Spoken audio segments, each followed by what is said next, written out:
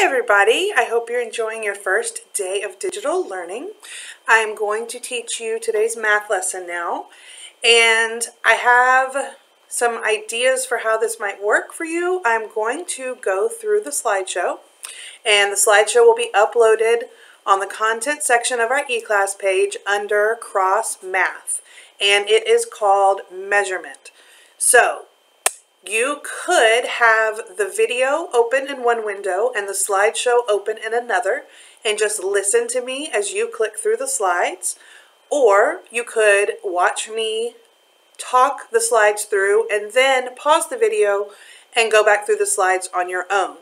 You can also always go back and look at the slides anytime you're working um, throughout the week and you have questions or you don't remember anything, just go back to the slides um, to review. So this week we're going to be working with measurement. And if you remember, a few months ago we talked about how as we got closer to the end of the year and milestones, time would be getting short. And now here we are learning at home. Who knew? Um, but I'm so glad we introduced this unit back when we did because hopefully most of it will be a review. Now we are going to take it a little bit farther this time. We're going to convert between different units. We're going to solve word problems with different types of measurement, but at least we have learned all of the units and all of the types of measurement.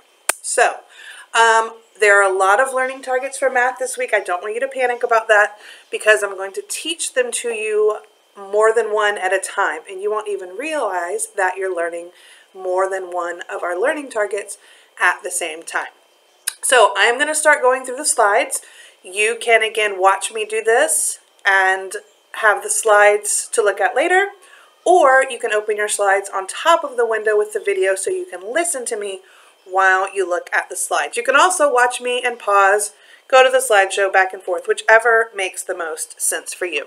But when you see me looking over here, I'm looking over at the slides so I know exactly what to be telling you. Okay, so our learning targets for the week. We are going to be working on saying I can describe different units of measurement and explain what they're used to measure. So if you remember, we're going to measure uh, mass, volume, or capacity, length. We're even going to do some time and money, which we didn't do when we introduced this a few months ago. Um, some of the units that we're going to be talking about are kilometer, meter, centimeter, gram, kilogram, pound, ounce. We're even going to talk about tons a little bit in your MobyMax work today. Um, liters and milliliters hours, minutes, and seconds. Uh, and that's it. So once we have learned all these measures, you're going to learn how to convert back and forth between measurements within the same system. Remember, there's two different systems of measurement, and I'm going to talk about that each day.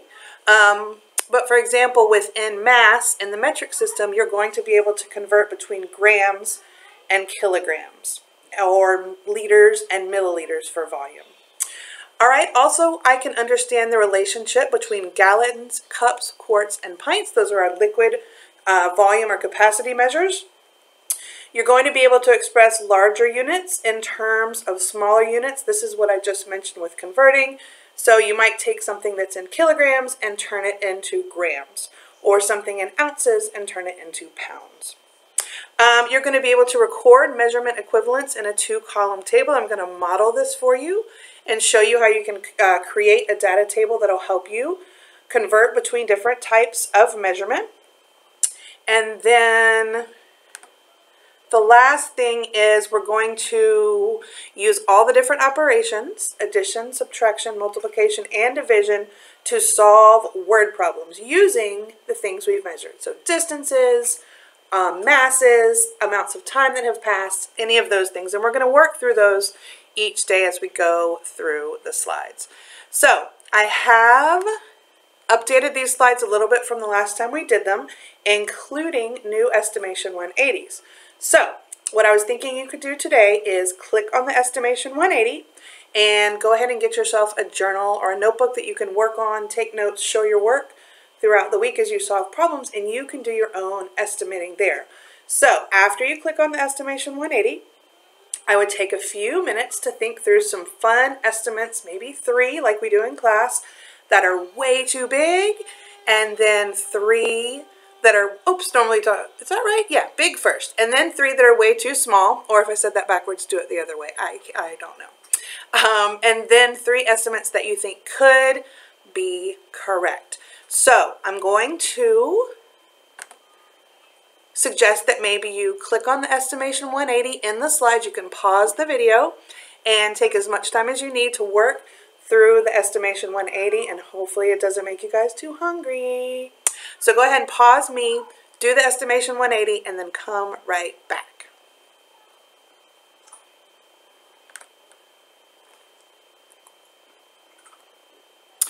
Okay, so hopefully you were not too surprised or too far off with your estimates about cheese balls today. Um, and we are going to look at cheese balls for the rest of the week. So now I'm going to start on the mini lesson slides. Um, and we're going to start with remembering what is mass. Mass is the amount of matter in an object. We usually think of this as weight, how much something weighs. And there are several different units that we use when we measure mass. Before we talk about that, we've got to talk about the two systems of measurement. If you remember, there are two systems that are used throughout the world. The first is called the metric system, and almost everywhere in the world, except for the United States, uses the metric system. The system we use here in the United States is called the customary system. So we're going to learn some units in each system for each type of measurement that we're talking about. So today, mass. And we're going to start talking about mass being measured in the metric system. Now the base unit, the smallest unit that we use for measuring mass is a gram. And if you remember, we estimate, or I'm sorry, abbreviate this with just a lowercase g. So when you're solving problems using grams, you might write some lowercase g's. Oh, there's George. George wants to learn math today with you guys. Um, so we think about a gram as about the same as the mass of one paperclip. So paper clips are pretty light. They don't weigh very much. So we want to think about using grams to measure things whose mass is not that great. Um, things that are not very heavy. So maybe you can think of some things that you might use grams to measure. Now, if you remember in the metric system, it's pretty easy to go back and forth between different units because they are based on a system of a thousand. And if you remember, kilo, K-I-L-O, means 1,000. So 1,000 grams make up one kilogram. So a kilogram is a whole bunch of grams. It's a lot heavier. It has a lot more mass than a gram. And a kilogram has a mass of about one dictionary. If you remember, some of us, uh, maybe in third grade, held a dictionary, one of those really heavy books, and you felt that that was about what a kilogram feels like. So if we're measuring in kilograms, the things we're measuring are going to have more mass. They're going to be heavier. And when we write kilograms, we abbreviate or make it shorter by writing a lowercase kg. Okay, so now let's talk about the customary system. Now this is the way we measure mass in the United States. These are the units you're going to probably be more familiar with. So where we use a gram in the metric system, we use ounces in the customary system. So an ounce is similar to a gram, about as much as a paperclip. Now, again, we would use ounces to measure things that have less mass, that are lighter. Um, when we think about heavier objects, we measure those in pounds. So when you go to the doctor for your checkup every year, they probably tell you how many pounds and then ounces. Or if, when a baby is born, they measure their mass in pounds and ounces. So when Shelby was born, she weighed 6 pounds and 10 ounces.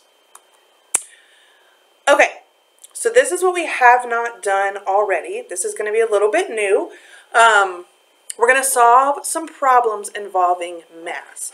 And as we do this, we're going to record the things on the chart. You can see behind me, I've already started our chart up here. And we're going to talk through different conversions of different units as we go through the week. So, this problem that we're going to look at is going to have to do with mass and it's going to have to do with the metric system, okay? So the problem says Miss Cross is shopping for groceries. She wants to make roasted vegetables for Sunday dinner. This is Mr. Elliot's favorite thing to eat um, on Sunday dinner. So I went to the store and bought 340 grams of potatoes, 560 grams of sweet potatoes, and 280 grams of carrots. The question says, how many kilograms of vegetables did I buy?